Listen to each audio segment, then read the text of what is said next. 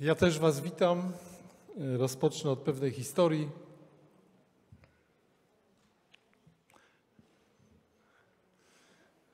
Dwóch kolegów spotkało się po latach, już wiele lat od szkoły.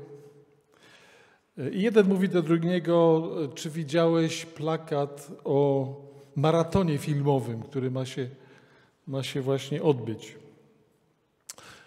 Tutaj muszę od razu powiedzieć, że otrzymałem prośbę, by mówić bardzo powoli, e, by tłumacz nadążył z, z tłumaczeniem dla sporej grupy gości z Ukrainy, którzy zebrali się w mniejszym audytorium. E, I tam jest dla nich tłumaczenie. No najważniejsze, że serdecznie ich witamy, tak? Serdecznie Was witamy.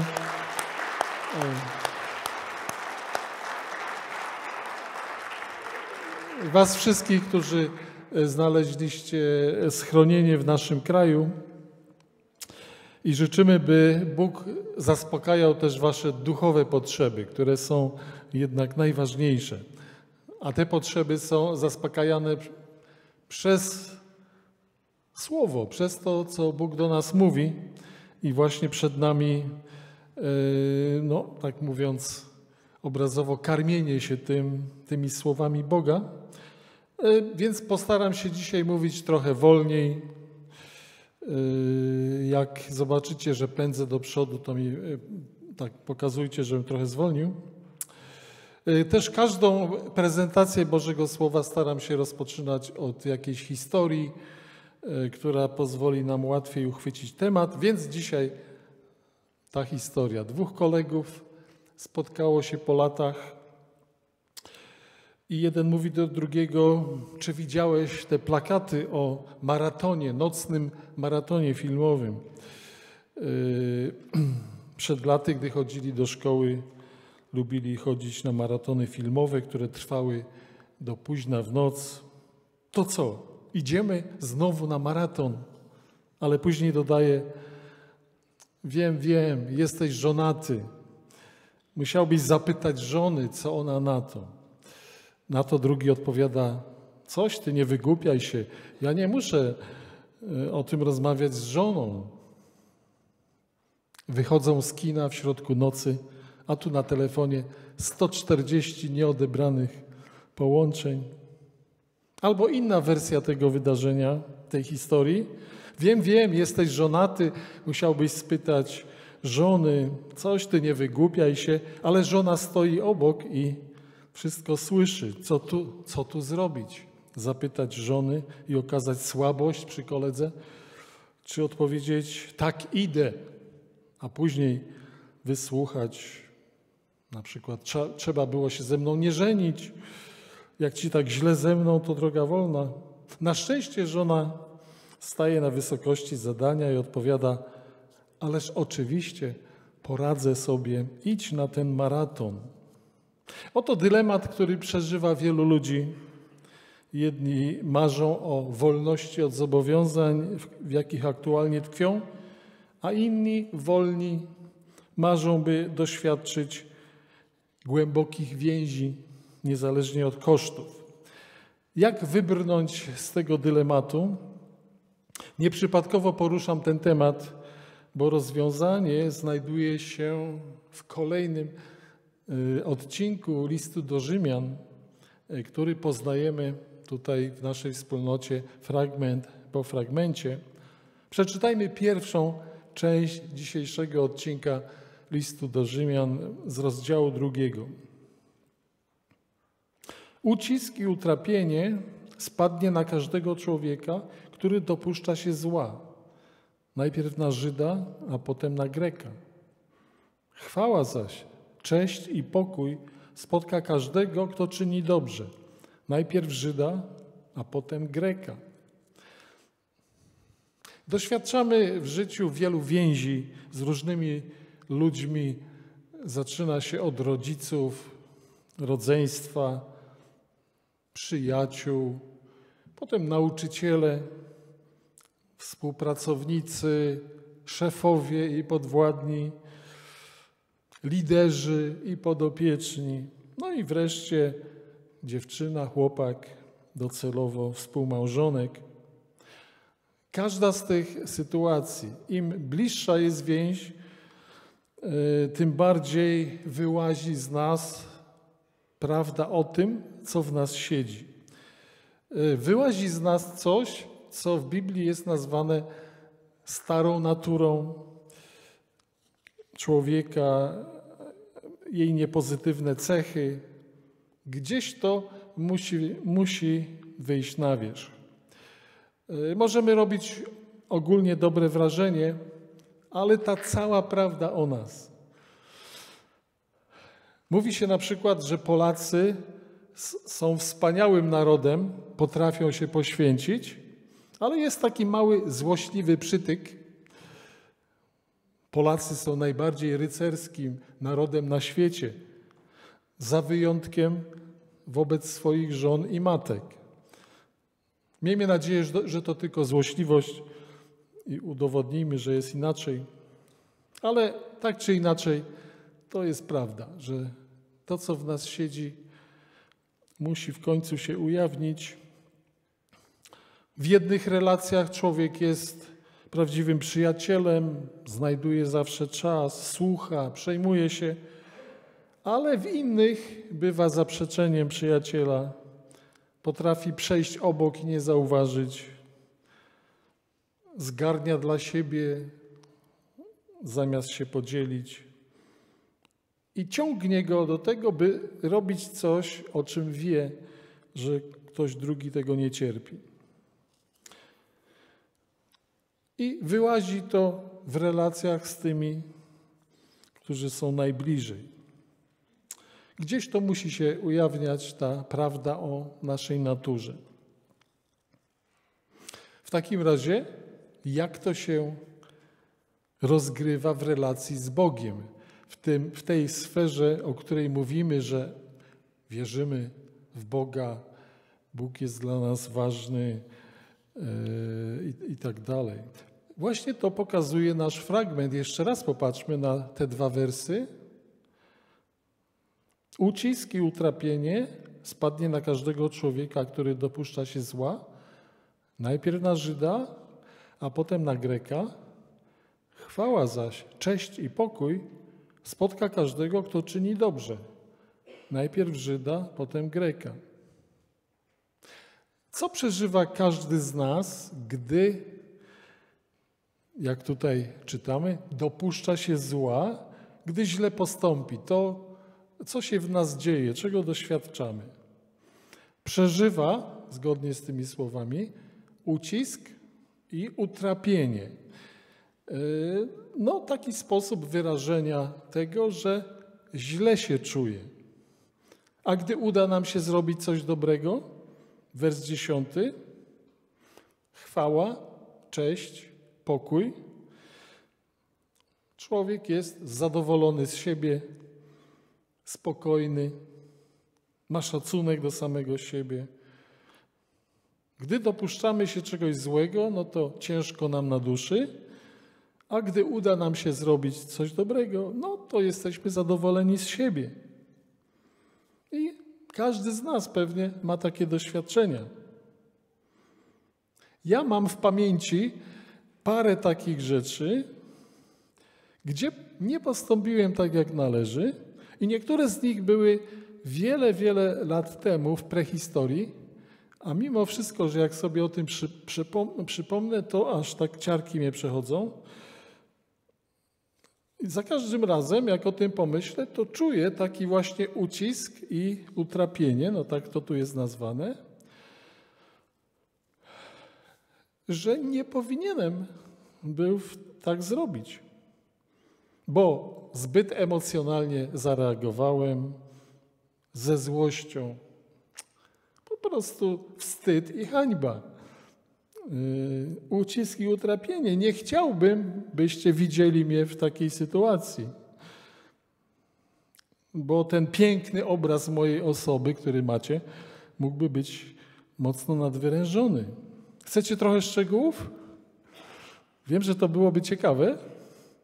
No dobrze, jeden przykład, jeden przykład. taki, który może nie zrujnuje całkowicie mojego wizerunku, potrzebowałem pewnego dnia takiego małego spinacza do papieru. Wiecie, taki drucik zakręcony, bo popsuł mi się zamek błyskawiczny przy bluzie i nie mogłem go otworzyć. A byłem akurat w supermarkecie. Ale spinacze były pakowane po 300 sztuk. Więc co zrobiłem? Jak myślicie, czy kupiłem te 300 sztuk? Jak potrzebowałem jeden? Sami się domyślicie. Dlaczego to zrobiłem? Nie powinienem tak zrobić. Przecież ktoś kupi tą paczkę i będzie miał 299, a będzie potrzebował 300, tak jak, tak jak jest napisane. Oj, chyba za szybko mówię. 300, 300. Ale tak naprawdę za każdym razem, gdy o tym pomyślę, no nie czuję się dobrze, tak? Źle się z tym czuję. To może podstawcie pod ten spinacz każdy z Was coś swojego, co nie powinniście byli zrobić i źle się z tym czujecie. Ale są też przeżycia odwrotne, gdy człowiek zrobi coś dobrego, gdy na przykład powie kasjerce przy kasie, że się pomyliła na swoją niekorzyść, chwała, cześć i, i pokój. A jak zrobimy coś złego, utrapienie i ucisk. Ale dlaczego tutaj jest mowa o Żydach i o Grekach? Dlaczego to przychodzi najpierw na Żydów, a potem na jakichś Greków? O co tu chodzi? Odpowiedź znajdziemy w, następnej, w następnych wersach. Przeczytajmy drugą część. Albowiem u Boga nie ma względu na osobę, bo ci, którzy bez prawa zgrzeszyli, bez prawa też poginą. A ci, co w prawie zgrzeszyli, przez prawo będą sądzeni. Nie ci bowiem, którzy przysłuchują się czytaniu prawa, są sprawiedliwi wobec Boga, ale ci, którzy prawo wypełniają, będą usprawiedliwieni.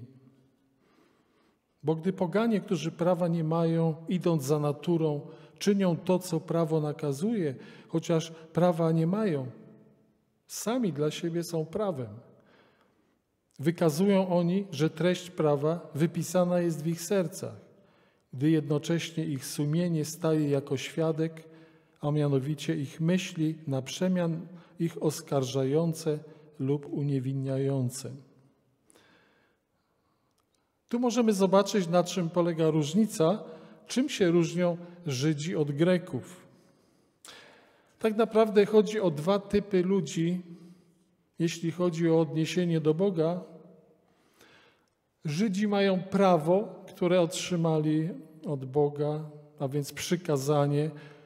Bóg im coś osobiście przykazał.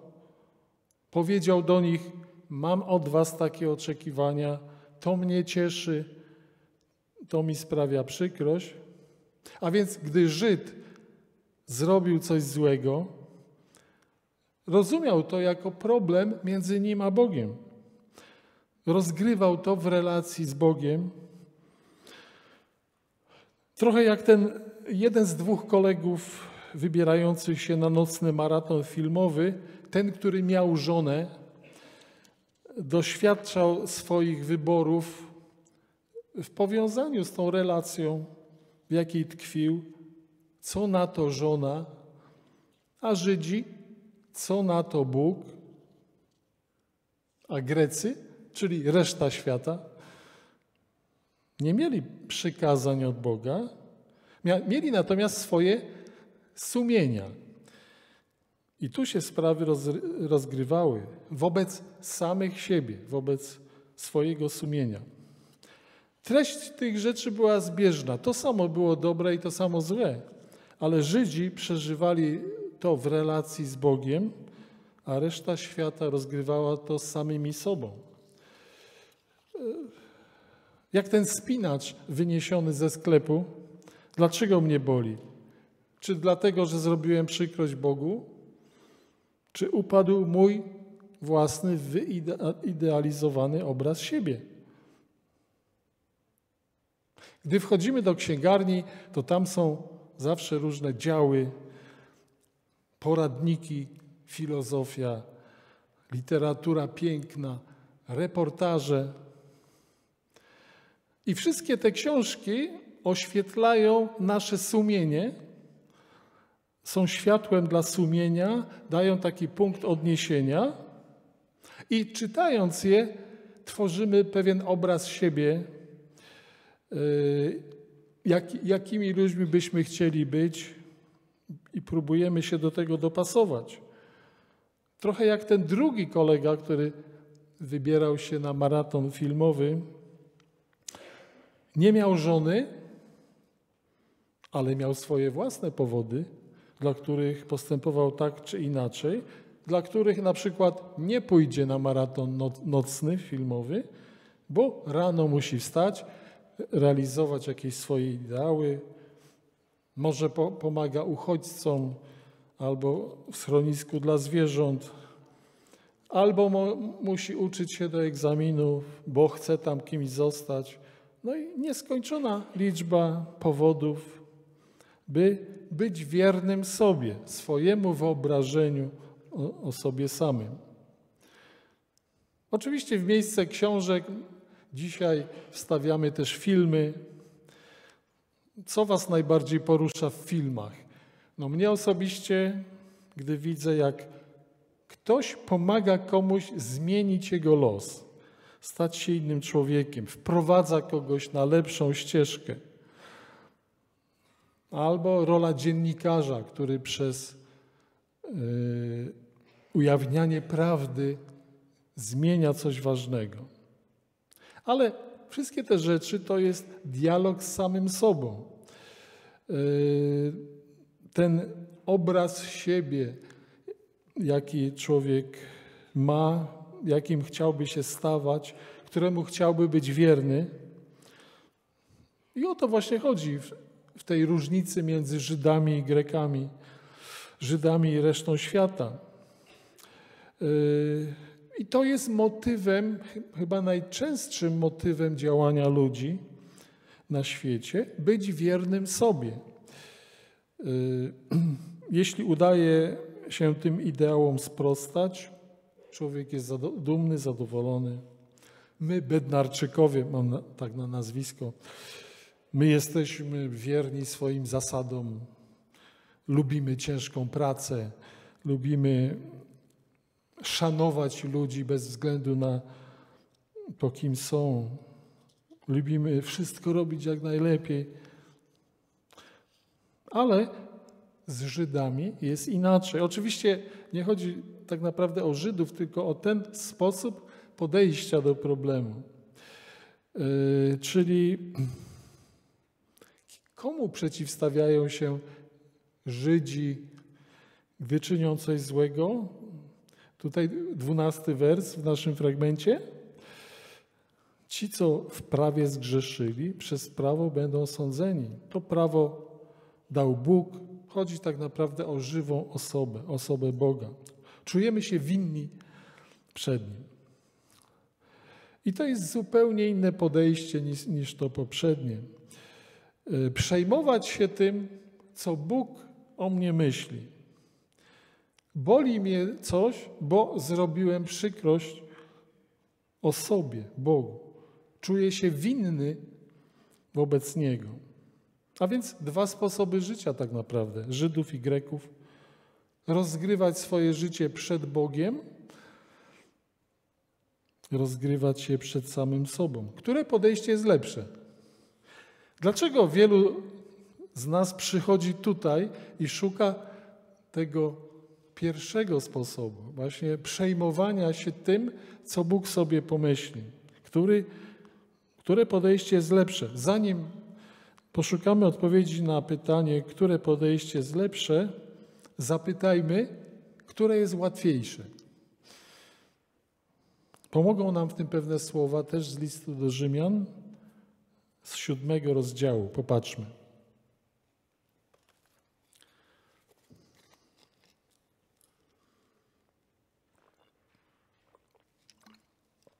Przy której linijce już jesteście? A może zacznijmy od początku. Kiedyś i ja prowadziłem życie bez prawa, gdy jednak zjawiło się przykazanie, grzech ożył. Ja zaś umarłem i przekonałem się, że przykazanie, które miało prowadzić do życia, zawiodło mnie ku śmierci. Albowiem grzech, czerpiąc podnietę z przykazania, uwiódł mnie i przez nie zadał mi śmierć.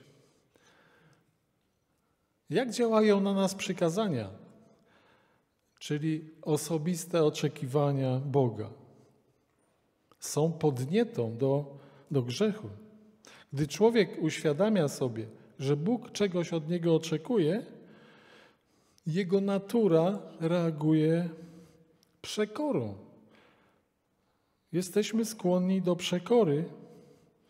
Przy, przykazanie Boże staje się, jak czegoś nie wolno, nie należy, i to wypowiedziane przez osobę, y, staje się to podnietą, by zrobić odwrotnie.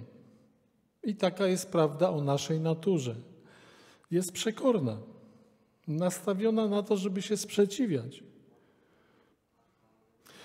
Mógłbym kupić y, ten spinacz do papieru 300 sztuk, w końcu to tylko 8 zł.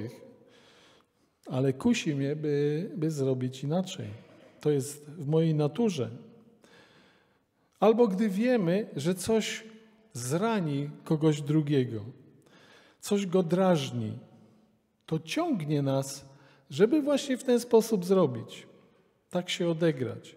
I znajdujemy w tym podnietę. Kiedyś ktoś młody, znany mi młody człowiek, został zapytany o swoje ulubione zajęcie. Czy wiecie, wiecie co odpowiedział? Gorszyć starszych. Robić coś, co ich rozdrażni. No, czerpał z tego właśnie jakieś ciekawość życia.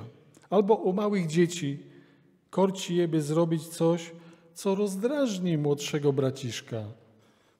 Dobrze jest rozumieć, skąd się to bierze. To jest część naszej natury. Dlatego, gdy słyszymy, że Bóg czegoś od nas oczekuje, nasza natura ciągnie nas, żeby zrobić odwrotnie. I to w nas siedzi. Kto więc gorzej przeżywa swoje upadki? Żyd czy Grek? Ten, który jest wierny sobie, czy ten, który nie był wierny Bogu? Słowo Boże mówi, że najpierw Żyd, potem Grek. Ten, który przejmuje się Bogiem, ma trudniej.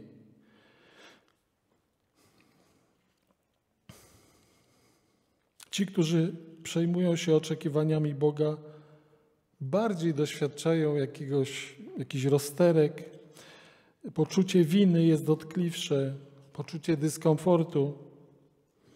Jak w przykładzie z tymi dwoma kolegami, którzy wybierali się na nocny maraton filmowy. Ten, który rozgrywał swoje życie w relacji z żoną, no, miał trudniej. To rozgrywanie życia przed samym sobą jest łatwiejsze. I może takie macie właśnie doświadczenia, że gdy staracie się być wierni samemu sobie, swoim wyobrażeniom, ideałom, właśnie tym powstałym pod wpływem jakichś książek, filmów, yy, no to jest jakiś emocjonalny power albo przez, jak to się mówi, obcowanie z idolem, oczywiście jednostronne, to jest jakiś emocjonalny power i rzeczywiście wydaje się czasami, że jesteśmy lepszymi ludźmi, bo coś nam się udaje, więc po co nam ta więź z Bogiem, e, która przysparza tylu problemów, przydaje poczucia winy? Niektórzy dawniejsi, dawniejsi wspólnotowicze, ludzie, którzy byli tu kiedyś w naszej wspólnocie, poszli tą drogą wierności sobie, odeszli od życia z Bogiem za łatwiejszym i przyjemniejszym życiem, bez tego poczucia upadania, porażek i jeszcze ciągłych napięć z liderami. Teraz mogą czuć się bez przeszkód szczęśliwi. Który więc sposób życia jest lepszy? Żydów czy Greków. Przeczytajmy ostatnią część naszego fragmentu, jeszcze wers 16. Okaże się to w dniu, w którym Bóg sądzić będzie przez Jezusa Chrystusa ukryte czyny ludzkie według mojej Ewangelii. Ktoś może pomyśleć, skoro tak jest, to po co mam się przejmować Bogiem? Po co mi doświadczać jeszcze jednej frustracji? Wolę to rozgrywać przed samym sobą, swoim sumieniem. Stworzę obraz dobrego człowieka, pójdę do księgarni, kupię paru filozofów, powrócę do ulubionych filmów. Stworzę sobie ideał i będę do niego dążył. Może ten pomysł wygląda dobrze w fazie pomysłu, ale rzeczywistość jest jednak inna.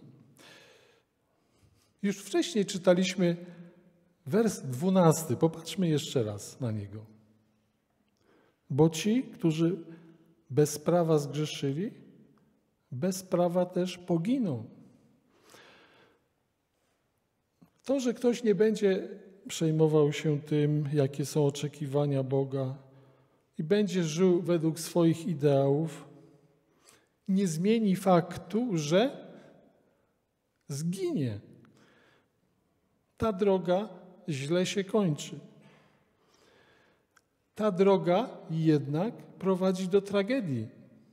Dlaczego?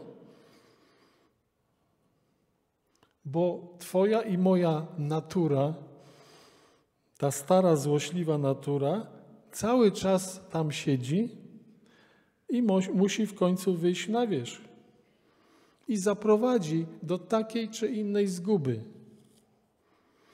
Dlatego, jakie jest najlepsze podejście? Popatrzmy na pewne słowa, parę rozdziałów do przodu w liście do Rzymian 5. Natomiast prawo weszło niestety po to, by przestępstwo jeszcze bardziej się wzmogło. Gdzie jednak wzmógł się grzech, tam jeszcze obficiej rozlała się łaska. Z tym, że w oryginale, w tekście oryginalnym nie ma słowa niestety. To słowo jakoś dodali tłumacze, ale nie niestety. Po prostu taki jest Boży porządek. Przykazanie Boże rzeczywiście wzmaga grzech. Im bliżej Boga, tym grzech bardziej z nas wyłazi. Problem nieprzyjemnie narasta ale po co go bardziej widać? Aby obficie rozlała się łaska. No takie piękne religijne stwierdzenie, ale chodzi o to, by znaleźć prawdziwe rozwiązanie, by ta nasza natura została ujarzmiona. Bez tego grzech, nasza złośliwa natura i tak wyjdzie kiedyś na wierzch da o sobie znać i nas zniszczy. Jest w świecie dzisiaj propagowany taki ideał nowoczesnego człowieka, człowieka nauki, postępu, który świetnie sobie radzi bez Boga i zmierza w stronę ogólnej szczęśliwości. Z tym, że jest problem E, nigdzie nie można znaleźć takiego człowieka w rzeczywistości. Jest to całkowita utopia, która w rzeczywistości nie występuje, bo nasza ludzka natura jest naprawdę zepsuta. Siedzą w niej okropne rzeczy, i gdy zaczynają się ujawniać, to włos się jeży na głowie. Pokolenie moich rodziców było świadkiem strasznych rzeczy, Holokaustu, II wojny światowej. E, te rzeczy poznawaliśmy, mówię o ludziach w moim wieku i młodszych, poznawaliśmy z filmów, z wycieczek do Oświęcimia i sobie pewnie nieraz myśleliśmy, to było kiedyś, to już się nie powtórzy. Ale dlaczego miałoby się nie powtórzyć? To siedzi w zdegenerowanej naturze człowieka. Co co to miałoby powstrzymać? Ostatnie wydarzenia na Ukrainie pokazują dobitnie, dokąd prowadzi droga z dala od Boga. I ta idea piękna akademika, kogoś, kto jest nowoczesnym człowiekiem, a Bóg do niczego mu nie jest potrzebny, no, ale myślę, że, że ta nadzieja trwa nadal w życiu wielu ludzi. Gdyby tak udało się w końcu zaprowadzić na ziemi ład i pokój, demokrację i przyjaźń między wszystkimi narodami, jak śpiewał Lennon w swojej piosence Imagine, tak? Wyobraź sobie, że nie ma krajów. Co ciekawe, Biblia zapowiada, że tak będzie. Że ludzie będą się w końcu cieszyć, mówiąc pokój i bezpieczeństwo na całym świecie. Takie są proroctwa. Jedno ogólnoświatowe państwo. Co ciekawe, ma wyrosnąć z Unii Europejskiej, z Europy. Takie gdzieś są prorockie przepowiednie. Ale Biblia zapowiada też, że właśnie wtedy to ogólnoświatowe państwo zostanie zmanipulowane przez postać nazwaną antychrystem. Natura ludzka się nie zmieni. Zmienią się tylko środki wyrazu. Dzisiaj daje znać o sobie, szczególnie w wydarzeniach na Ukrainie, jest przeżywana w skali narodów, ale każdy z nas potrzebuje rozstrzygnąć to osobiście, jaką drogą pójdzie. Czy będę rozgrywał swoje życie przed samym sobą, czy jednak przed Bogiem? I jeżeli przed Bogiem, no to jest w końcu pytanie, jakie jest rozwiązanie? Dlaczego ta droga jest lepsza? Więc jeszcze raz ten szesnasty wers, ostatni naszego głównego tekstu. Okaże się to w dniu, w którym Bóg sądzić będzie przez Jezusa Chrystusa ukryte czyny ludzkie według mojej Ewangelii. Z tym, że tych pierwszych słów okaże się to nie ma w oryginale. Tak? Zresztą w Biblii Tysiąclecia one są w nawiasie kwadratowym, co oznacza, że no, gdzieś tam zostały dodane niby dla lepszego zrozumienia. Yy, nie chodzi o jakąś tam niewiadomą przyszłość, że kiedyś coś, ale to może dziać się teraz, yy, że właśnie jakie jest rozwiązanie yy, problemu starej natury. Potrzebuję, by Bóg osądził we mnie to, co tam jest ukryte, w znaczeniu, by wyciągnął to na wierzch, stan mojego serca. Mogę mieć bardzo dobre mniemanie o sobie, ale Bóg zna moje serce i tam nie jest dobrze. Jestem może się nikt nie obrazi. Jestem lekceważącym Boga buntownikiem i potrzebuję, by ten problem został rozwiązany zgodnie z Ewangelią.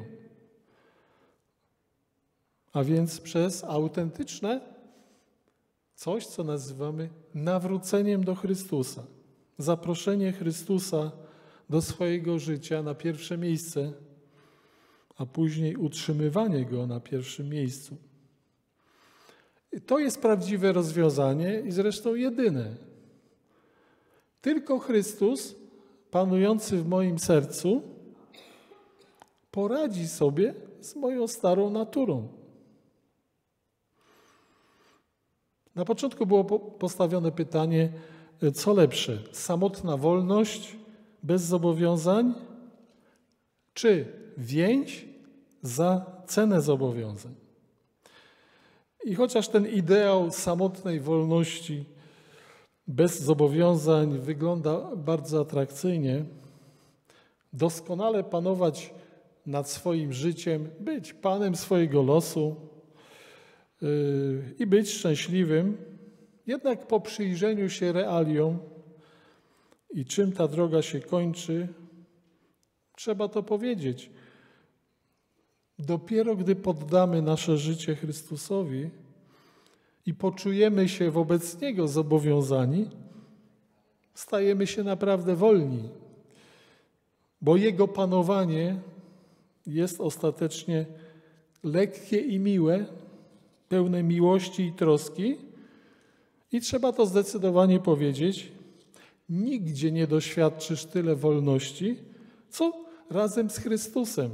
Bo można powiedzieć, nie ma ceny za wolność wobec swojej natury, wobec panowania starej natury, która po prostu człowieka niszczy. Więc dwa sposoby życia, na które dzisiaj patrzymy: rozgrywanie życia przed samym sobą i rozgrywanie go przed Chrystusem. Niektórym chrześcijanom wydaje się, że rozgrywają swoje życie przed Chrystusem, bo kiedyś zaprosili go do swojego życia i on w nich zamieszkał. Ale to, czy autentycznie rozgrywasz swoje życie przed Chrystusem, zależy od pewnego do, dosyć konkretnego wyboru. Mianowicie, skąd czerpiesz swoje przekonania? Na przykład, gdy mówisz, no, mam takie swoje przekonania, to jeszcze nic nie powiedziałeś, bo jest pytanie, skąd pochodzi to Twoje przekonanie? Czy z wierności sobie, jakieś swoje podejście do sytuacji, tak to zawsze robiłeś czy robiłaś, ale teraz jesteś w związku z Chrystusem. Więc dosyć ważnym staje się pytanie, co on powie na ten temat. Powiesz, nie mam przekonania, by robić to czy tamto. Jakie jest źródło tego przekonania? Wierność sobie czy wierność Chrystusowi? Jeżeli wierność sobie, jeżeli ten bastion własnych przekonań jest dla ciebie ważniejszy niż to, co mówi Chrystus, to może warto autentycznie zapytać, czego Ty chcesz ode mnie, Panie. Droga pójścia za własnymi przekonaniami, za autorytetem, którym człowiek jest sam dla siebie, nie ma gwarancji dobrego zakończenia. Zamiast tego jest gwarancja, że zawsze źle się skończy. I to niezależnie od tego, czy jesteś chrześcijaninem, czy nie. W konfrontacji ze starą naturą, naszą starą naturą, tylko więź z Bogiem daje szansę na całkowite zwycięstwo. Więc pozwólcie, że się o to pomodlę, wyrażę w imieniu nas wszystkich naszą wiarę. Boże, dziękujemy Ci za to, że posłałeś dzisiaj do nas te słowa. Na pewno nieprzypadkowo. Każdy z nas to osobna historia, wspaniała historia życia, ale ufamy, Ojcze, że tylko te słowa, które pochodzą od Ciebie, wskażą rozwiązanie. I proszę, aby tak było, aby wielu z nas mogło doświadczyć jakiegoś kroku do przodu. Ojcze, jesteśmy zaskoczeni tym, jaka jest natura człowieka, bo myśleliśmy, że, że jeszcze przez wiele lat będzie tak ładnie, miło i przyjemnie. Wszyscy będą dla siebie mili, a tu nagle wychodzą takie rzeczy, o których no,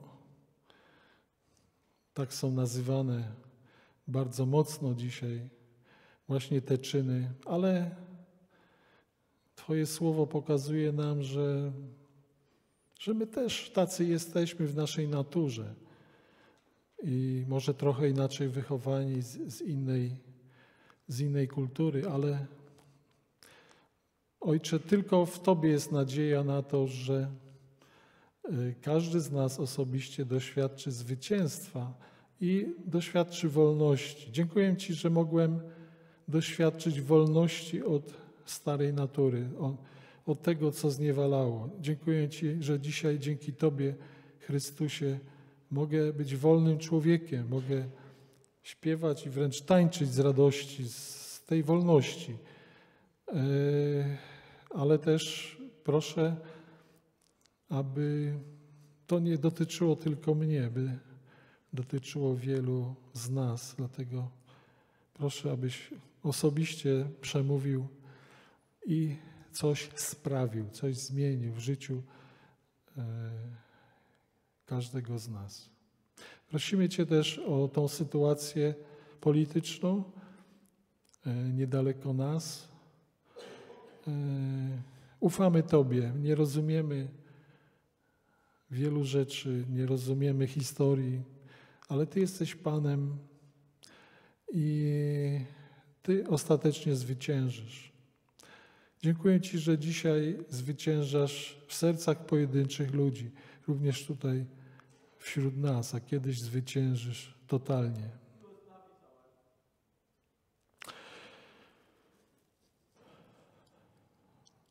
Jednak to rozgrywanie życia przed sobą jest tworem sztucznym, nierealistycznym.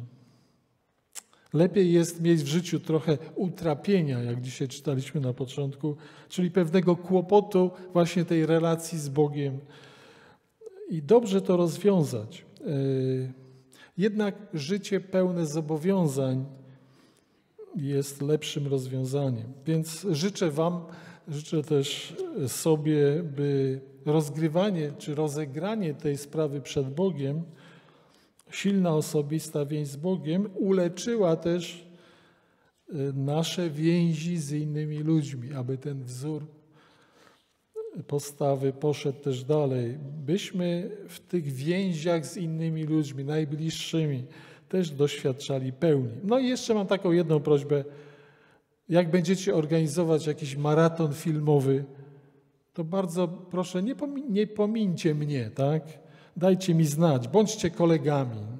No będę musiał się oczywiście zapytać żony, no ale myślę, że wszystko będzie dobrze.